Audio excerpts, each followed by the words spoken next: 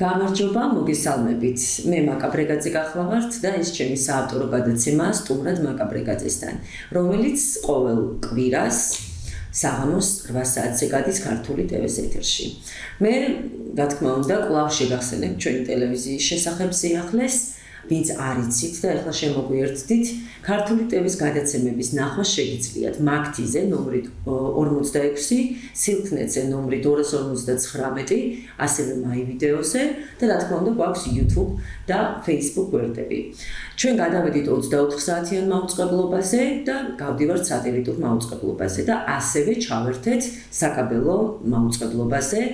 სადაც შეგიძლიათ გვიხილოთ ნომრით 292 დღეს ჩემი გადაცემის სტუმარი გახლავთ ძალიან საინტერესო პიროვნება, ახალგაზრდა პოეტი. მე ვიტყოდი რომ წარმატებული პოეტი, რომელსაც ძალიან დიდი გეგმები აქვს სამომავლოდ. ეს არის ბატონი გიორგი ახვერდაშვილი. ბატონო გიორგი, მოგესალმებით. დიდი მადლობა რომ მოხვედით ჩვენთან სტუდიაში, ჩემს გადაცემაში. დიდი ხანი გეგმავდით ჩვენ ჩვენს გადაცემას და ძალიან საინტერესოა და ძალიან მიხარია რომ ბევრი ახალგაზრდა საქართველოსში თბილისში განსაკუთრებით რომელიც ხელოვნებას ესე ვთქვათ არ კარგავს. ხელოვნებაში მისულს შეიტანს ყოველთვის და თქვენ ზუსტად ესეთი პიროვნება ხართ. და მინდა ესეთი კითხვით დავიწყო თქვენთან გადაცემა. მე როგორც ვიცი თქვენ ცირე ასაკიდან დაიწყეთ ბავშვობიდან დაიწყეთ ლექსების წერა და მაინც მაყურებელს რომ გავაცნოთ რა ასაკიდან დაიწყეთ ლექსების წერა და რა იყო თქვენი ინსპირაცია? რატომ მაინც და მაინც ლექსები? ხა, პირველ რიგში მოგესალმებით. აა, რაც შეეხება ლექსების წერას, დაუწყე ძალიან ცირე ასაკიდან მართლაც 12-13 წლის ხოვი და ახლობით პირველ ლექსი რა დავწერე. ზოგადად ცხოვრებაში ძალიან ძალიან მიყვარს პოეზია, მოსმენა, წაკითხვა და ყველაფერი რაც პოეზიას ეხება. აა თავიდან რომ დავიწყე ლექსების წერა, არ მქონდა ესე ინსპირაცია რაღაც, ანუ კონკრეტულ ადამიანზე არ არწერდი. უბრალოდ მოვისმინე, შემიყვარდა და ვცადე უბრალოდ რომ მოდი აბა თუ დავწერ მეც ლექსს და ასე თუ ისე გამოვიდა რომ კიდე მეორე შემდეგი ნაბიჯის გადათმის საშუალება მივეც ჩემ თავს რომ კიდე მეცადა ეს იგივე დაწერა. შემდეგ უკვე გამვითარდა ეს ყველაფერი ისე რომ ჩემი ცხოვრების განაყოფელი ნაწილი გახდა ეს ლექსების წერა და დიდი სიყვარული დაიმსახურა ჩემო. მე როგორც ვიცი ჩვენ ვისაუბრეთ და შენ აღნიშნე რომ ძალიან ადვილად ითვისებდი ლექსებს სკოლაში. ადვილად სწავლობდი, ну, ლექსს გააჩნია, რა თქმა უნდა, მაგრამ ქართულებს ესე ვთქვათ, სკოლის პროგრამაში, მაშინ ბავშვებს მithumetes ძალიან ისეთი რთული და დიდი ლექსები გქონდა, რომ გვესწავლა, ხო? ეს შენთვის როგორი იყო მათი სწავლა? ვიცი რომ ადვილად ითვისებ, რა თქმა უნდა, მაგრამ აი სწავლასთან ერთად და ათვისებასთან ერთად სიამოვნებასაც უნდა განიჭერდეს და უნდა კარგად კითხულობდე ლექს. აი ბავშვობიდან თუ გქონდა ეს ნიჭიც, რომ აი კარგად წაგეკითხა, გამოთქმით როგორც ესე ითხოვდნენ ჩვენი პედაგოგები. ქართულში უმეტესად ქულები მაგის გამო მეწერებოდა ხოლმე, რომ ძალიან ისეთ თუ გინდარ მესწავლა კარგად და რაღაც, მაინც განმოცემის უნარი მქონდა ძალიან კარგი, რომელიც მოსწავლებს შესაძლებლობს და ლექს შევლექს რო შეხვდებოდა ხოლმე ქართულის ციკში მიხაროდა ხოლმე, იმიტომ რომ აუცილებლად უნდა მესწავლა რა. ანუ ნიშნულობა არ ქონდა ვის ლექსი იყო, რაზე იყო, უბრალოდ ლექსი იყო, რა ხელა იყო. ანუ მარტივი იყო ჩემთვის ერთი წაკითი, ორი წაკითი, ჩემსო დამახსოვრებინა. მაგალითად 15 წუთიან შესვენებას მაშინ ესე იყო სკოლებში, ტანო და ტანო მაქვს ნასწავლი. სახში ვერ მოასწარი ძალიან ის კატარბენა გამურბენაზე ვიყავი და ისე უპასუხისგებლად ვარ მოქცეულიყავ რომ ანუ მე ყოლა ეს და ვიცი მეთქი რომ მე თქო მასწავლებლის ხო თან ძალიან მაგარი ლექსი და აა მოკლედ ეს შესაძლებელზე ვისწავლე. ზოგადად მოსმენით შემიძლია რომ მოусმინო ადამიანს ან რაღაც ჩანაწერი მოვისმინო და შემდეგ რამდენიმე ხნის განმავლობაში ეს თავში რო ტრიალის ყველაფერი შემიძლია ეგრევე განმოვცი ადამიანს და წაუკითხო რა თქმა უნდა, ესეც განსაკუთრებული ნიჭია, რადგან მე მინდა გითხრა, რომ ბევრი გოგონებიც ვერ ახერხებენ ამას. ძალიან რთულია მაინც, კიდე არ გინდა, მაინც რთულია, იმიტომ რომ არ დაირღვეს რითმა და უშუალოდ ისე წაიკითხო ის ლექსი, როგორც დაწერილია, როგორც ჩაფიქრებული აქვს პოეტს, ხო? და ბიჭები ხა მოგეხსენება, უფრო ნაკლებად იციან ხოლმე ეს რაღაცებს ყურადღების მიქცევა და მithumetes ლექსები არ უყვართ განსაკუთრებით. ნუ ბიჭებს რა, ხა მეც ყოლია კლასელები, ძალიან კარგი მეგობრები მყავს, კარგი კლასელები, მაგრამ ყოველთვის რაღაც ისე ვიცოდით ხოლმე, რომ აი ლექსი მაინც ცოტა ისეთი იყო რა, სათქმელად რა თქმა უნდა, ყველა სწავლობდით, ყველა კარგი მოსწავლეები ვიყავით, მაგრამ ბიჭს აი ესეთი გადმოცემის უნარი ხო როგორც შენ ყვები რომ გქონდა მაინც იშვიათობაა და როგორც ჩანს ზუსტად აქედან შეგიყვარდა შენ ეს ლექსები და აი ალბათ მაგიტომ დაიწყე. და იცი რა მაინტერესებს შენი ჟანრი აი რა ჟანრში წერ ლექსებს? აი როგორი დავშეთ რა ან კონკრეტულ ჟანრში თუ წერ ლექს რა გადაგაწყვეტინა რომ აი ზუსტად ამ ჟანრში დაგეწერა აი რა არის შენი ძირითადად შენი ჟანრი ну ძირითადად ჩემი ლექსების უმრავლესობა არის სიყვარულზე აა რა გადამაწყვეტინა ზოგადად არ თვლი ისე რომ ყველა ვინც ლექს წერს კიდე თუ არა საკუთარ ცხოვრებიდან გამომდინარე წერს ლექსებს ну იყო პერიოდი როცა ჩემი ცხოვრებიდან გამომდინარე წერდი აა მიწყვნები რაღაც როგორც ხდება ხოლმე და ინსპირაცია ჩემი იყო ადამიანი და აა უმრავლესობა ესე არის დაწერილი. თუმცა არ თვლი იმას რომ სხვის ცხოვრების შემყური ან რაღაცის დაინახავ ან ერთმანეთში სიყვარულს ადამიანის ურთიერთობას იქიდან შეგიძლია აიღო რაღაც მაგალითი ინსპირაცია კონდეს და დაწერო. ეს არ მოითხოს იმას რომ ინდა თუ არა შენ უნდა იყო ან შეყვარებული უნდა ყავდეს ან ზოლი უნდა ყავდეს ან რაღაც მსგავსი. მაგრამ ყველაზე კარგი არის რომ მაგ ვარიანტში წერო. იმიტომ რომ უფრო მეტად ხარ გახსნილი და უფრო მეტი იცი რა რაზე წერ და რატომ წერ. კი. და როცა გზნობი წერ, კი ბატონო, უფრო კარგი გამოდის ლექსი ჩემი საზრით, რა ვიცი, თავს მენელისთვისაც კარგია უფრო. რა თქმა უნდა, და უფრო საინტერესოა, ყოველ საინტერესებს მსმენელს, ვის ეძღვნება, რომ დაინახოს ის ადამიანი, აი ვინ არის შენი მუზა, ესე ვთქვათ. და ვის უძღვდი ამ ლექსებს. ხომ ვერ წავიკითხავდი გიორგი შენს ისი ამონექს. აა, მაშინ ეს აუკითხა. კი, რომელიც კიდე. აქ ყველაფერი ისე ვისია, როგორც დატოვე. ისე მეჩვევა მთვარე, ფიქრები და სიმარტოვე. მოჩვენებებიც უკვე შენი სახით დადიან გავიმეორებ, შენ შემიყვარდი. შენ შემიყვარდი თანაც ძალიან. უსახლკაროა ჩემი მუზაც დადის ბარბაცით ვერ ვეგუებით, მაგრამ მაინც დროსთან დავმარცხდით. გამიღიმებს და მოგონებაც მარტო დამტოვებს, სანუგეშებლად მივაკითხავ კვლავ სიმარტოვის. მაგრამ ვინ იცის, იქნებ სადღაც ისევ მელიან, იქნებ სიმღერებს შემს დაწერილ ლექსზე მღერიან, შეეგუება ჩემი გულის ღია ჭრილობა სასმელში ჩავკრავამ უაზრო მოწყენილობას. კვლავ გავიხსენებ იმ დროს, როცა შევით ვთბებოდი. შენ ხომ არიცი როგორ ძლიერ მენატრებოდი. გამოდმებული აგრესიით ვიხსნი მარყუჟებს ვერც ერთი აბი ჩემს იარებს ვეღარ აკუჩებს დამაგვიანდა. თუმცა ბოლოს მაინც მოვედი. რატომ მეგონა რომ არასდროს არ დამტოვებდი? ახლა მივხედა უკვე ჩემთვის არ გცალია მაგრამ მე მაინც შემიყვარდი. შენ შემიყვარდი თანაც ძალიან.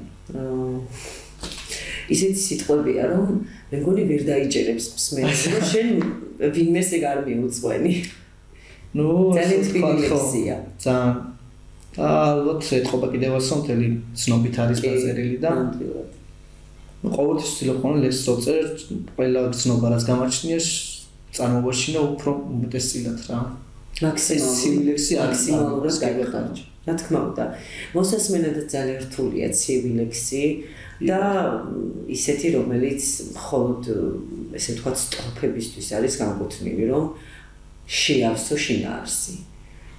აი შენ აი ხა ამ ლექსში რაც შენ მოყევი მარტო ლექსად კი არ გადმოეცი ან ისტორია გადმოეცი შენი გზნობა გადმოეცი შენი ამბავი გადმოეცი და ეს არის თვითონ რა თქმა უნდა მოსასმენად უფრო რომელიც მაყურებელს ამშვიდებს ნამდვილად ძალიან კარგი ლექსია ძალიან დიდი მადლობა იმიტომ რომ მინდა გითხრა რომ ადვილი არ არის თუნდაც უმეტეს როდესაც გრძნობით წერ ხო ადვილი არ არის აი ამ ყველაფერს თავი მოუყარო. კი ბატონო.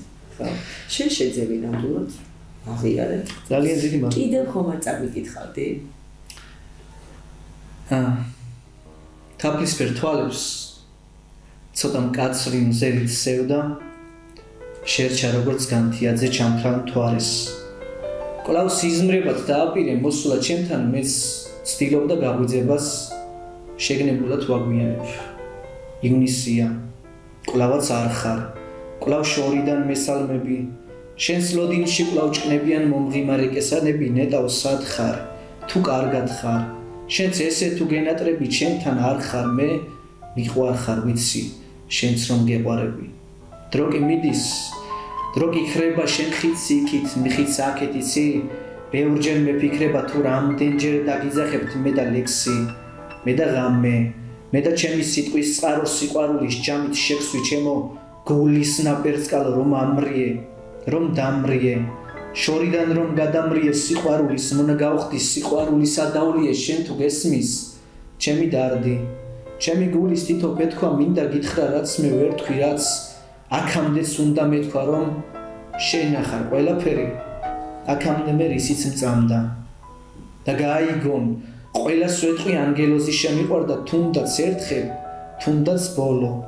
შანსი მქონდეს შენი ნახვის შენი თბილი ჩახუტება მე საოცრად ძლიერს გამხდის თუნდაც ერთხელ თუნდაც ბოლო.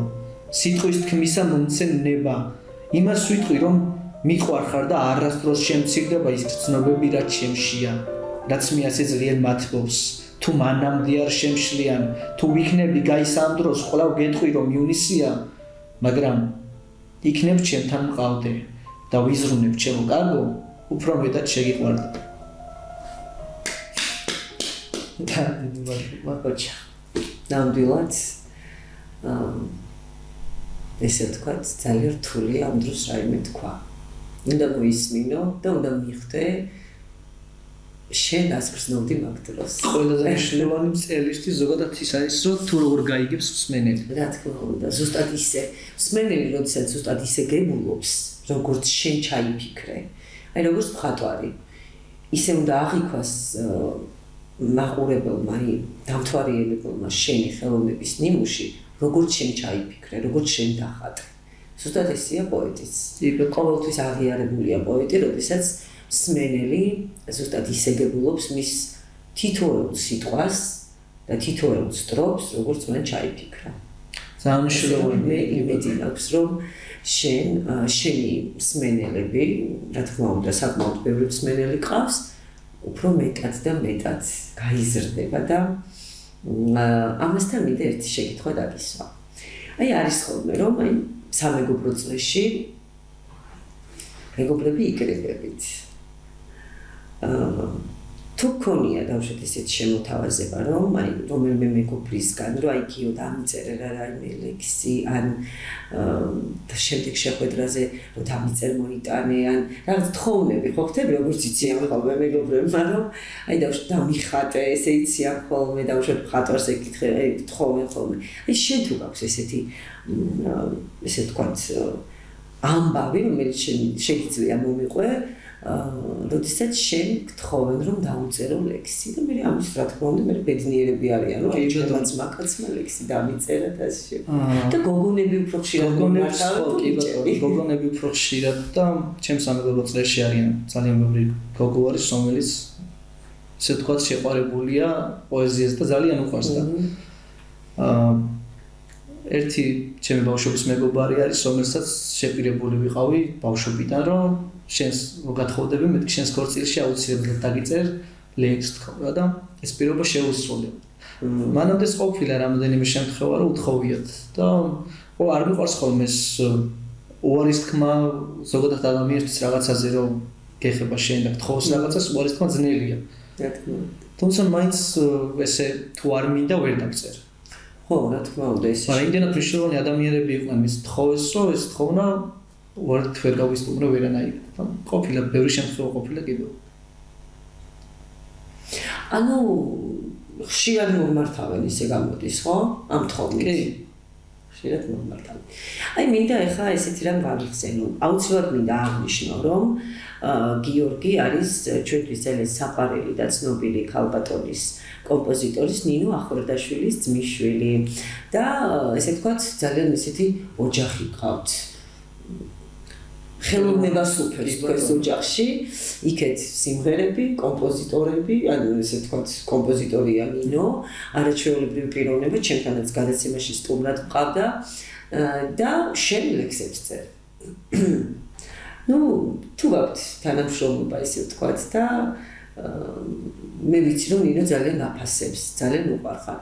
როდესაც ჩემს გადაცემაში იყო, იქედან ვისაუბრეთ, ანუ მანამ დავსხდებოდით სტუდიაში და მითხრა რომ მე მყავს ესეთი კარგი ძმისშვილი, მყავს ესეთი კარგი ლექსებს წერს, რომ ანუ მა იქედანვე ვიცი შენზე რომ შენ არწევ ხარ და ყავს მინუს ესეთი ძმისშვილი და აი თუ გაქვთ დაუშვათ რაიმე ესე ვთქვათ თანამშრომლობის ვარიანტი, როდესაც ნინოს რაიმე შენი აზრით თუ გაუთვალისწინები თუ უკითხავს რაიმე შენთვის. კი ბატონო, ყოფილი რამდენიმე ფაქტი.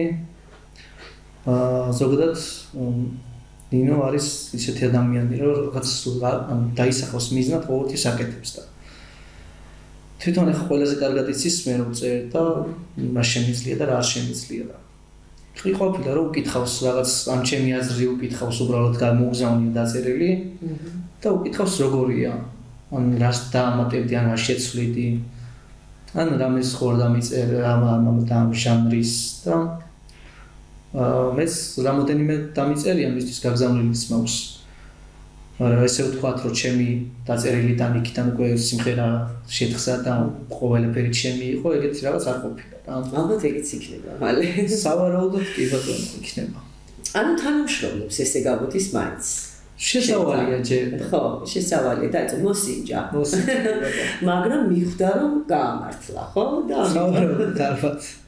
და მე ვნახე თქვენი აი საღამო, როდესაც შენი ინოს წაუკითხე შენი ლექსი მუსიკის ფონზე, ესე ვთქვა, იმდენად ხატრულად გადმოეცი, იმდენად მართლაც იდეალურად იყო წაკითხული, რომ მაშინ ნამდვილად მივხვდი, რომ შენ ნამდვილად უნდა მოსულიყავი ჩემთან გადაცემაში. მთელი გრძნობით უკითხავდი. ძალიან ძნელია. კი, შეიძლება წერდე ლექსებს, მაგრამ ვერ გაითავისოთ ლად. მივხვდი, ანუ ბოლომდე ვერ დაიხარჯო. ეს შენ იხარჯები ყოველთვის შენს ლექსებში და ეს შენს შინაარსობრივადაც ეთყობა შენს ლექსებს. და რა თქმა უნდა შენი წაკითხულიდან გამომდინარე ხდება მსმენელი რომ მართლანთელი გულით კითხულობ.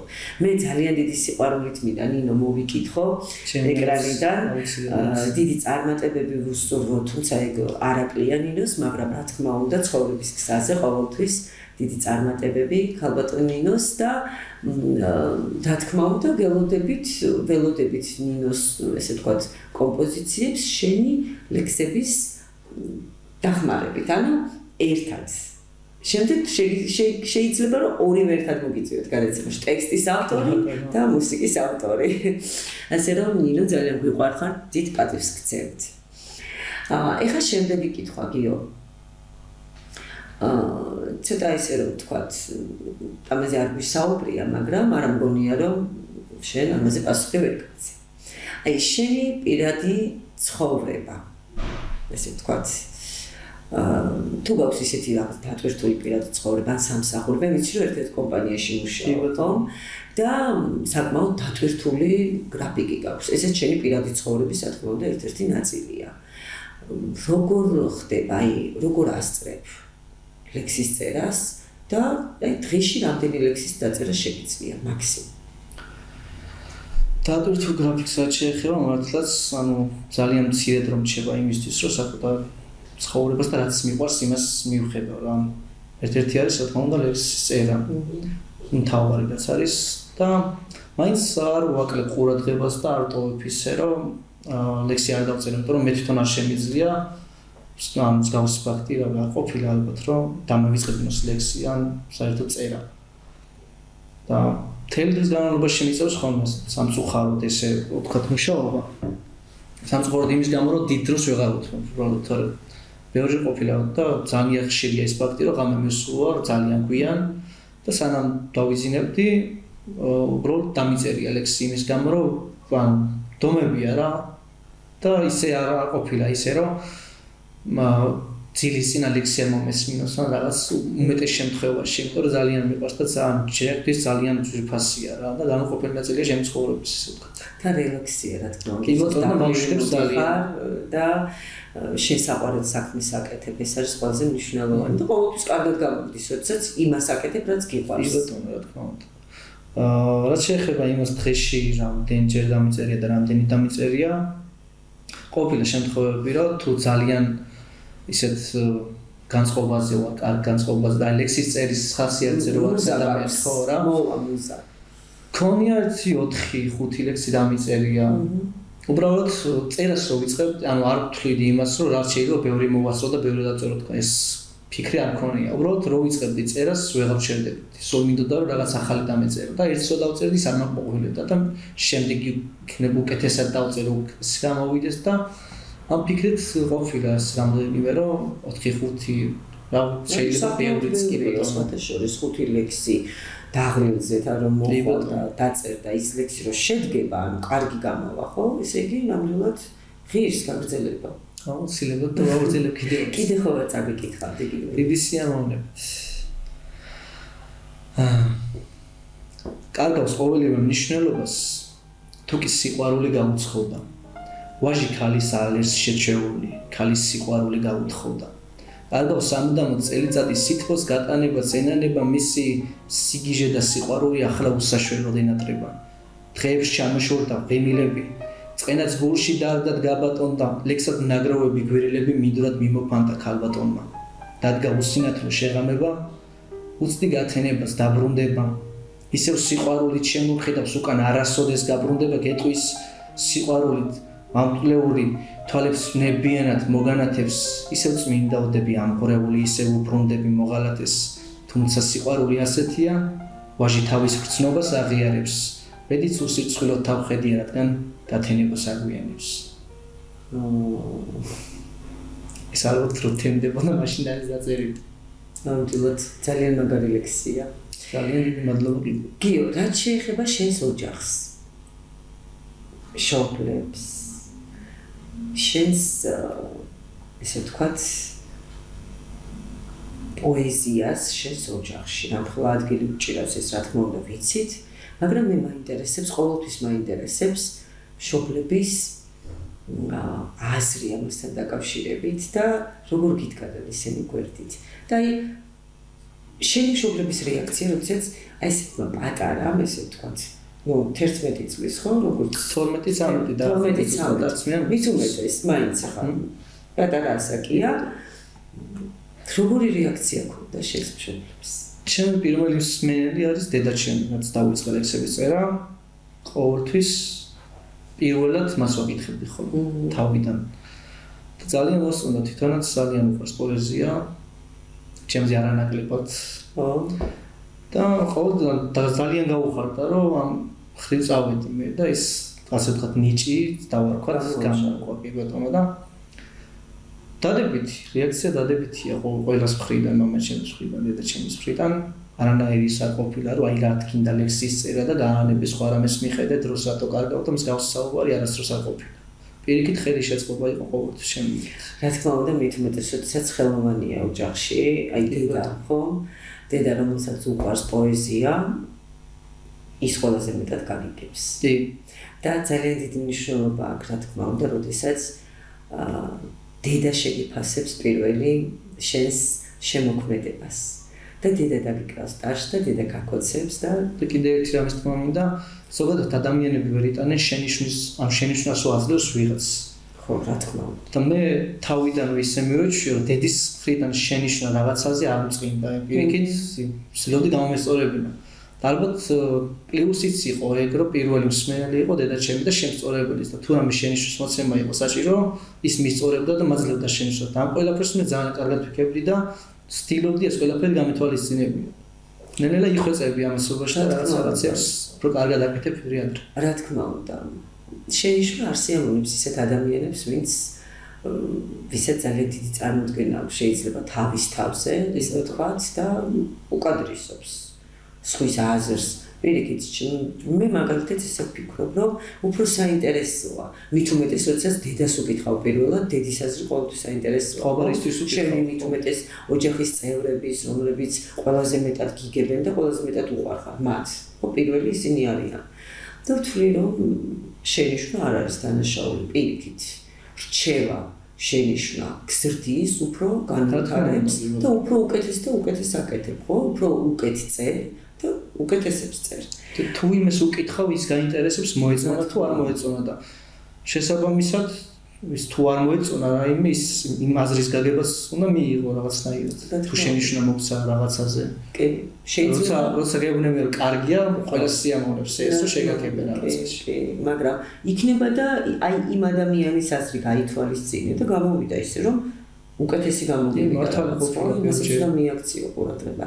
ხომ არა გაქვს დავშოთ დედაზე ლექსი დაწერილი? ან დავშოთ აი ისეთი ლექსი თუ შეგიძლია წაგვიკითხო რომელიც დედამ შეიტანა მასში შესწორებები და შენ გაითვალისწინე დედაზე ადრე დავწერე ლექსს და ძალიან მიყვარდა მართლა და ის ლექსი დავკარგე.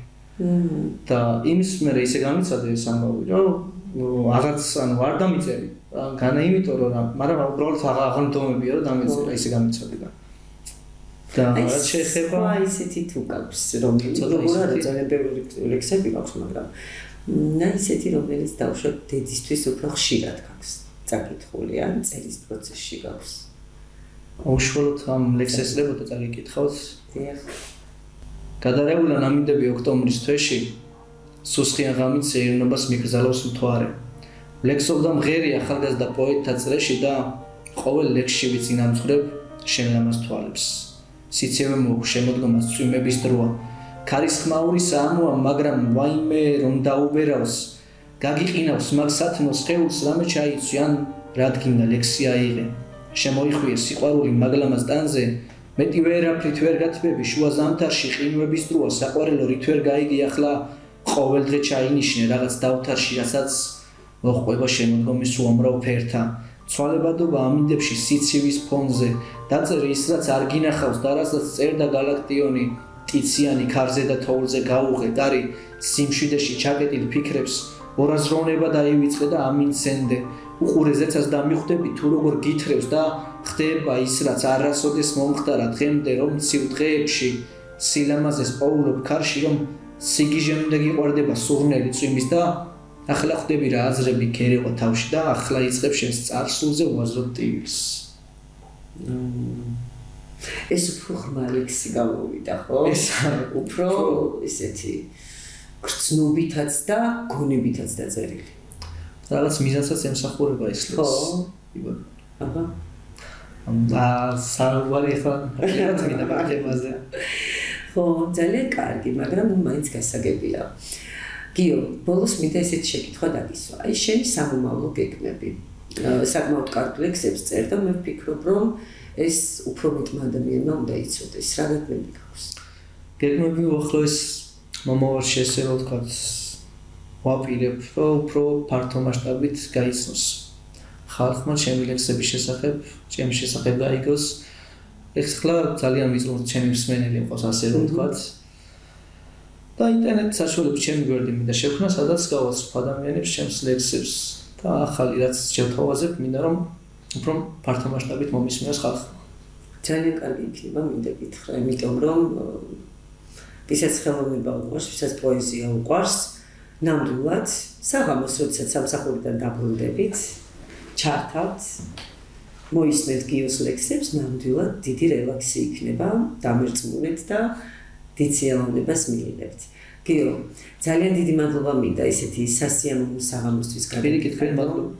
და ნამდვილად რომ არ აღნიშნო არ შემიწია, თუმცა მართლა ძალიან მომეწონა შენი ლექსები. ძალიან დიდი მადლობა. ძალიან თბილი ლექსები გაქვს და ვისურვებდი რომ შენ ნამდვილად ბევრ ადამიანს გაიცნო შენი შემოქმედებით და რა თქმა უნდა უფრო მაღალ და მაღალ საფეხურებზე ახვიდე. ჯერ ცხოვრება წინა გაქვს, მით უმეტეს, როდესაც ბავშვობიდან დაგიწყია წერა, მაგრამ მოყვედი საკმაოდ შენი, ესე ვთქვათ, ნიშა მოიწე პოეზიაში, ესე ვთქვათ, მაგრამ რა თქმა უნდა გისურვებ უფრო და უფრო მეტ ლექს და მეტ მსმენელს. ძალიან დიდი მადლობა. მადლობა ყურადღებისთვის შესთავარი. გაიხარე ჩემი კარგო და მე მგონი კალბოტონინოს მოგვისმენს. აუცილებლად თუ შეეცდებით რომ შემდეგ ორივე მესტუმროთ შენ როგორც ტექსტის ტექსტის ავტორი და ნინო როგორც მუსიკის ავტორი. ძალიან კარგი შემოწმება ერთად ოჯახი გადაცემაში სტუმრი. რა გამოვა? გიორგი, მე როგორც ვიცი, შენ გაქვს რელიგიურ თემაზე ძალიან საინტერესო ლექსი, რომელიც მე ჯერ ნამდვილად არ მომისმენია, დაწერილი და მაინტერესებს რამ გადაგაწყვეტინა ლექსის დაწერა და რომ წამიკითხო ეს ლექსი ეთერში. რამ გადამაწყვეტინა მაგაზე პასუხი არც მე არ რომ გითხრა, იმიტომ რომ არ ვიცი იმ მომენტში როგორ რა რანაირად ვიყავი, რა მოხდა ჩემს ცხოვრებაში, როგორ ხასიათზე ვიყავი, რომ ეს ლექსი დავწერე, თუმცა გამოვიდა ასეთნაირი წაგიკითხავთ და თვითონ მიხვდებით. აღარ არის სიმართლე. გაიყიდა, წავიდა. ფიქრობ ჯვართა მოხსნიდან რამდენი დრო გავიდა. დაგვავიწყდა ზარსული ისმის მოთქმა ვაება აღარავინ ლოცულობს, ვიღას ახსოვს თაება. ვიღას ახსოვს ტკივილი ესო რომ ეწამ აქ ხადაკმა ფულისთვის თავისი ზმა შეჭამა. აქ სამოთხე გონია ჯოჯოხეთს რომ ვანათებთ. აქ მუხლებზე დაჩოქილს ღამეებსაც არ ვათევთ, რა გგონია ცხოვრება. თითქოს ერთი წამია იქ იუდამ გაყიდა ჩვენ ჭყვა ვერ ვისწავლი ადრე. ხმალი გვეჭირა. მუზარადი გვეფარა ახლა თვალებს ბინდიდან ნამი გადაგვეფარა. ვეღარ ვამჩნევთ ერთმანეთს, ვეღარ ვამჩნევთ იესოს ერთხელ თუ გვაპატია, ბევრსაც გვაპატიებსო. ამ ცხოველთა სამყოფში ცოდები რომ გვამძიმებს. ტყივა გული გვეწვება, ღამე აღარ გვაძინებს. მოსვენებას არ გვაძლევს ეს ცოდვილი ფიქრები სატანა ყოლს ხეულში ჯოჯოხეთში ფრინდებით სული ისევ მიიწევს მარადიულ სამყოფელს. აქ თუ წრემლი გდიოდა ნეტა ვიქრას გვამყოფებს ეს შმაკს სული მიუყიდეთ. სიცოცხლეში გავცვალეთ უფლის სადიდებელი შიშით ვეღარ დავცალეთ დედა ვეღარ გვიყურებ ჩვენს ნაფერებ თვალებში ფხიზელს როგორ მიპოვია გაგლეჯილ თვალებში სიცრუე თუ სიმართლე რეალობა ერთია. ჩვენს გულებში სატანა ჩვენს გვერდით კი ღმერთია აღარ არის სიმართლე, აღარ არის დანდობა ერთმანეთის მტრები ვართ ვიღას ახსოვს დაძმობა. ვინ დაეძებს სიყვარულს დღეს მშობელი დედის ამ გაყინულ გულებში ზისხივი არ გვეღირსა. თვალსარიდებთ მათხოვარს მოწყალებას რომ ითხოვს. დღეს თუ ცოცხალი დარჩა ხვალ უფრო მეც მოითხოვთ ყველა შიშმა შეგიპყროთ თვალებს ბინდი გეფარათ. თითქოს ბოლო ჯარისკაც თქვენი გული გებარათ თითქოს ვეღარ ამჩნევდით ზმას და სიყრმის მეგობარს გაჭირვები ცხოვრებას ამჯობინებთ მეფობას. მაგრამ ასე სუყველა მეფობას რომ ღაღადებთ. მხოლოდ უფალმა იცის თქვენ კისერზე რა გადევთ როგორ უნდა იმეფოთ? როცა თვითონ მონახართ გავადრო და სუყველა თქვენ თქვენ ადგილს მონახავთ. დრო წაიღებს მოტანილს ისევ ისე დახრით თავს. სვავი როგორც სიუდას თქვენს გვამებსაც დაფრითავს ძალიან დიდი მადლობა წარმატებების გისურვებ ძალიან დიდი მადლობა ჩემო საყვარელო მაყურებლებო რომ დაგვითმეთ დრო გვისმენდით გვიყურებდით კარგად ბრძანდებოდით